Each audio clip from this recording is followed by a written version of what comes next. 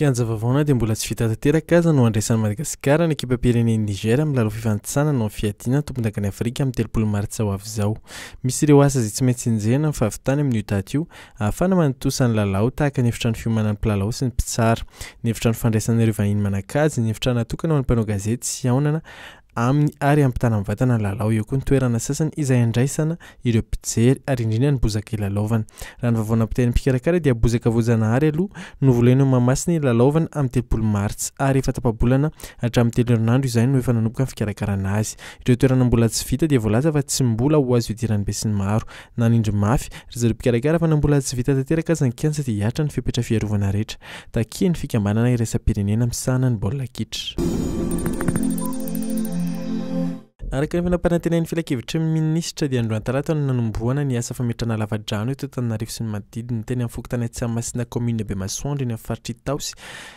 Eny no natao ny asa voalohany raha ny voalazan'ny avy ao amin'ny Ministeran-dRanjo ny fahadiovana ary ny fidiovana dia mihoatra lavitra ny roapolo metatra ny halalin'ny lavadrano heverina hatao.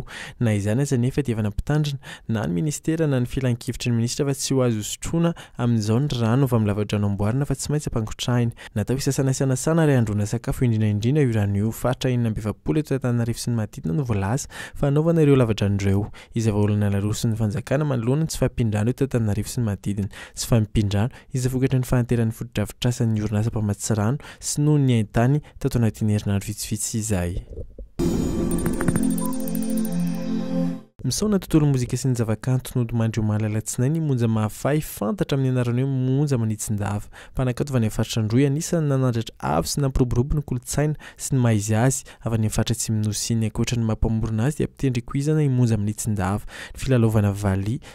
Marovany, no anisan'ny tena nampalaza azy, fa nofeheziny ihany koa na novaliana ny jejy voatavo na ny lokanga.